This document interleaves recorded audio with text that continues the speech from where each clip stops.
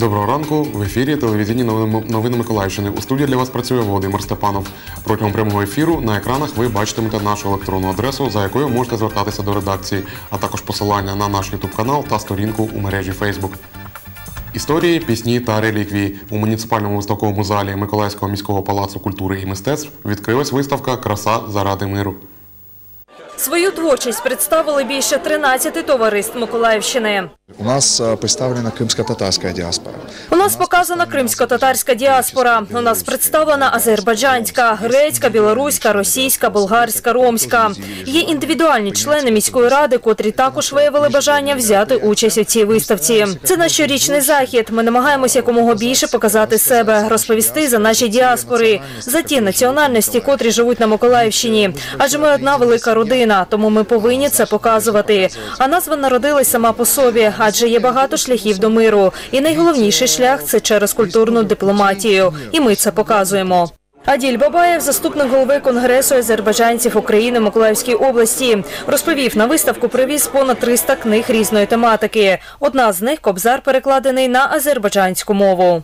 По ініціативі азербайджанської діаспори За ініціативою за фінансової підтримки ми зробили ось таку книгу. Що вона із себе представляє? Ось наш шановний поет з української перекладав на азербайджанську мову. Згодом випустив ось таку книгу. І тут всі твори Тараса Григоровича Шевченка на азербайджанській мові. Книга називається Чарівник. Також привіз шість інструментів 7-8 століть. Зіграв народну пісню на інструменті таш.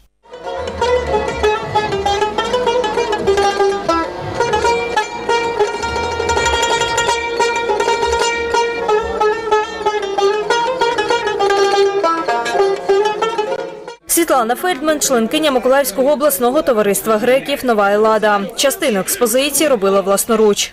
Всі роботи випалені, е, виконані е, в стилі декупаж. Е, ці каміння і ракушки привезені з греческої уз- узбережжя. Я самолічно привезла. Е, І всі роботи випалені, виконані е, теж в стилі декупаж. Подарені греческому обществу. Ну, а також е, ці тарілки теж в стилі декупаж. Навпроти греків куточок товариства ромів. Володимир Юрковський, голова Миколаївського обласного товариства Романі Бахт, розповів, все, що представлено на виставці, збирали понад 40 років. Это э, книги, большая коллекция книг.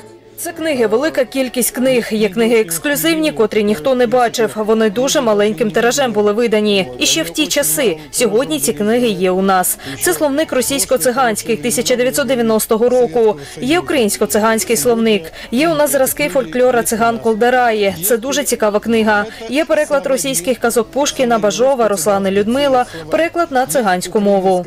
Ось справа є фотографії 1981 року. Виступ першого колективу на заході в зорі.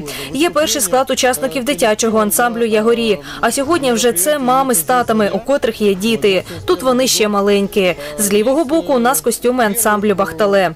Наступний пункт Угорщина. В експозиції розмальовані тарілки та дві маски. Їх одягають під час фестивалю, який відзначають з 18-го сторіччя. Ми хотіли показати ці маски, тому що у Угорщині, е, от, де моя етнічна е, батьківщина, як говориться, проводять е, маскарад отакою весною, коли проважають зиму перед постом.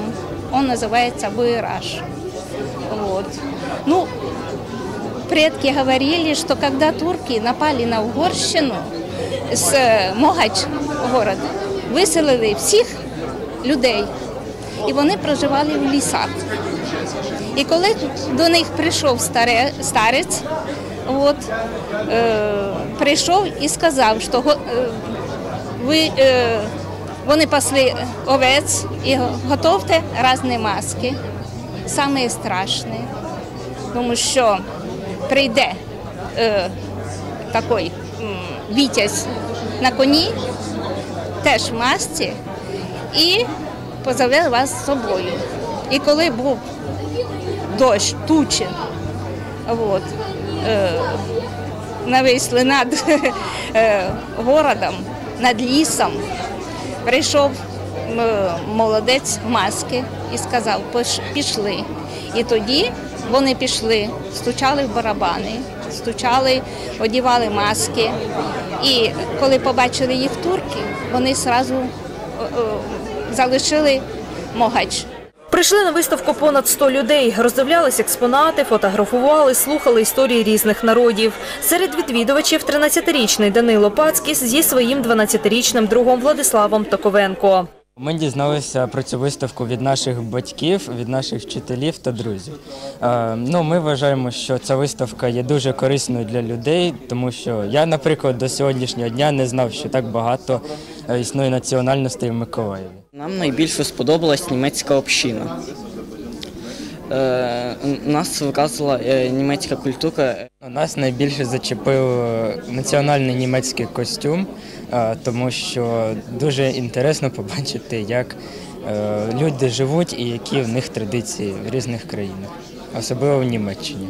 Миколаївській області проживають представники 132 національностей. Виставка триватиме до 24 березня у муніципальній виставковій залі Миколаївського міського палацу культури і мистецтв. Євгенія Голубова, Юрій Руденко, телевізійні новини Миколаївщини.